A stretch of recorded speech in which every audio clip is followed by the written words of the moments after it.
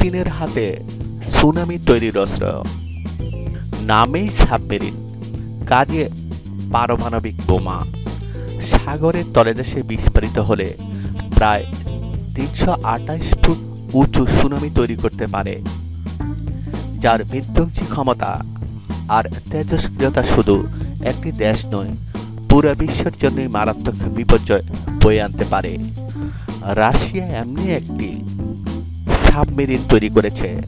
Status ছয়, গত পহেলা March federal অ্যাম্বাসির ভাষণে রাশিয়ার প্রেসিডেন্ট ভ্লাদিমির পুতিন বলেছিলেন, তারা একটি পারমাণবিক অস্ত্র তৈরি করেছেন।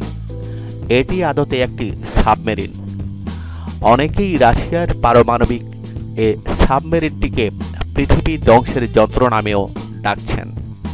তবে বিশ্লেষকরা প্রশ্ন তুলেছেন পুতিনের হাতে থাকা পারমাণবিক অস্ত্র, আসলেই কি এতটা ভয়ঙ্কর? ক্রেমলিনের দেওয়া তথ্য মতে, ওই দিন সাবমেরিনটির কার্যক্ষমতার বর্ণনা দিয়েছেন পুতিন। তিনি বলেন, ড্রোনটি সাগরের অনেক গভীরে যাবে। এটি সাবমেরিন অথবা নৌকার চেয়ে দ্রুত গতিতে ছুটবে। গতির এই ডুবুজাহাজ আন্তমহাদেশীয় হামলা চালাতে সক্ষম। সমুদ্রের গভীর টিকিট থেকে অতি উচ্চ গতির যুদ্ধজাহাজ সহ সমুদ্র উপকূলের যে কোনো স্থাপনায় হামলা চালিয়ে তা ধ্বংস করে দেবে। শত্রুরা তা বাধা দিতে পারবে না। এটি পারমাণবিক অস্ত্র বহন করবে। এটা সত্যি অসাধারণ। রাশিয়ার প্রেসিডেন্ট বলেন, মনুষ্যহীন সাবমেরিন প্রচলিত পারমাণবিক অস্ত্র বহন করতে পারে, যা বিমানঘাটি, উপকূলীয় দুর্গ, অবকাঠামো সহ বিভিন্ন লক্ষ্যবস্তুতে আঘাত আনতে সক্ষম। তিনি বলেন, গত বছরের ডিসেম্বরে রাশিয়া একটি পারমাণবিক শক্তিচালিত ইঞ্জিনের পরীক্ষা শেষ করেছে। ব্রিটিশ দ্য সানের খবরে বলা হয়, পুতিন ডিভাইসটির নাম বলেননি।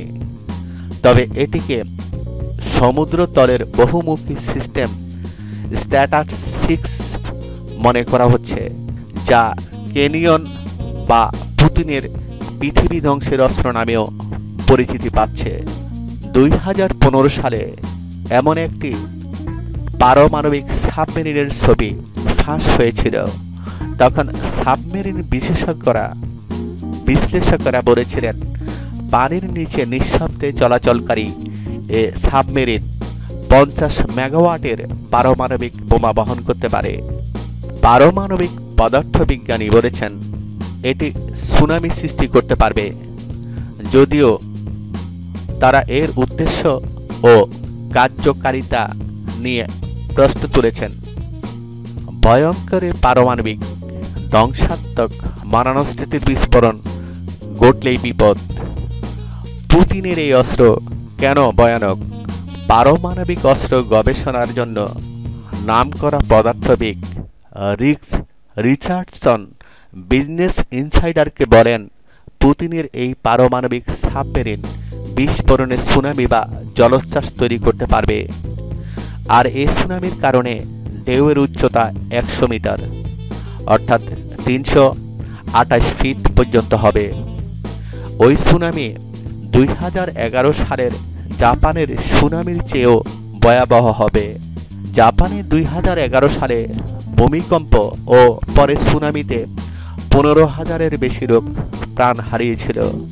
রিচার্ডসন আরও বলেন, এই সুনামি তৈরি হলে মার্কিন যুক্তরাষ্ট্রের লস অ্যাঞ্জেলস এবং সান দিয়াগো হুমকির মুখে পড়বে। রিচার্ডসন নিজেই সান দিয়াগোতে থাকেন। লরেন্স লিবারমোর ন্যাশনাল ল্যাবরেটরির পারমাণবিক অস্ত্র বিশেষজ্ঞ পদার্থবিদ গ্রেগ স্পিক্স বলেন, পঞ্চাশ মেগাওয়াট অস্ত্র মানে সম্ভবত সুনামি তৈরি করতে পারে এমন, এবং ছয়শো পঞ্চাশ কিলোটন বিস্ফোরণে সমতুল্য শক্তি নিয়ে এটি আঘাত হানতে পারে। কিন্তু তিনি বলেন, এটি অর্থহীন, অপব্যয় হতে পারে। তবে শক্তিশালী পারমাণবিক অস্ত্র। আর এ কারণে গ্রেগ স্পিক্সের বিশ্বাস যে এই সবচেয়ে শক্তিশালী পারমাণবিক বোমার বিস্ফোরণ হলে সুনামি হবে। এর আগে গ্রেগ স্পিক্স বিজনেস ইনসাইডারকে বলেছিলেন, বড় পারমাণবিক অস্ত্রের শক্তির তুলনায় ছোট অস্ত্রের কারণেও স্বাভাবিক সুনামি হতে পারে। তাই পারমাণবিক অস্ত্রের বিস্ফোরণের ফলে তৈরি সুনামি খুব বড় ক্ষতির কারণ হবে না। তার এই বক্তব্যের সমর্থনে উদাহরণ হিসাবে গ্রিক্স বলেন, দুই হাজার এগারো সালে জাপানের সুনামির কারণে তিরানব্বই লাখ মেগাটন পারমাণবিক তেজস্ক্রিয়তা ছড়িয়ে পড়েছিল। এই ছড়িয়ে পড়ার পরিমাণ উনিশশো পঁয়তাল্লিশ সালে জাপানের হিরোসীমা ছাড়া পারমাণবিক বোমার চেয়ে একশো গুণ বেশি।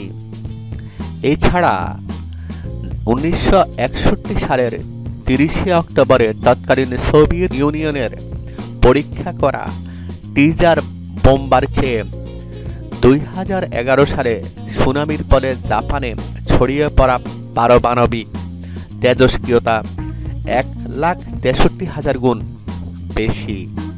স্পিক্স আরও বলেন, এটি বিস্ফোরিত হলে এর নির্দেশনা সাগরের তীরের দিকে হবে না। এটার অধিকাংশই আবার সমুদ্রে ফিরে গিয়ে অপচয় হবে। তিনি বলেন, এমন পারমাণবিক অস্ত্র যদি উপকূলীয় শহরের দোরগোড়ায় থাকে, তবে এর উদ্দেশ্য অবশ্যই সন্দেহজনক। এই অস্ত্রের অস্তিত্ব কি আদৌ আছে?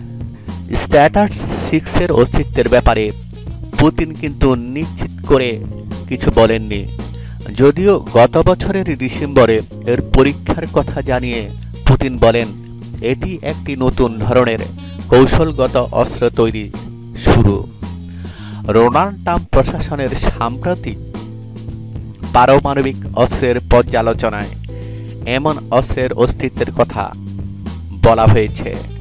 মিডলবারি ইনস্টিটিউট অফ ইন্টারন্যাশনাল স্টাডিজের পারমাণবিক নীতি বিষয় বিশেষজ্ঞ জেফ্রি লুইস দুই হাজার পনেরো সালে ফরেন পলিসিতে লেখা এক নিবন্ধে রাশিয়ার এই পারমাণবিক সাবমেরিনকে পুতিনের পৃথিবী ধ্বংসের অস্ত্র বলে অভিহিত করেন।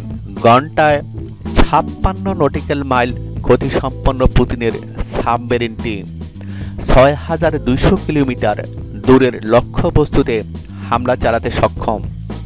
সম্প্রতি রাশিয়া বেশ কিছু মারাত্মক বিধ্বংসী অস্ত্র বোমা তৈরি করেছে। এসব অস্ত্রের প্রতিটি পুরো বিশ্বের জন্য বিপজ্জনক বলে মত দিয়েছেন বিশেষজ্ঞরা। দা সান ও বিজনেস ইনসাইডার অবলম্বনে।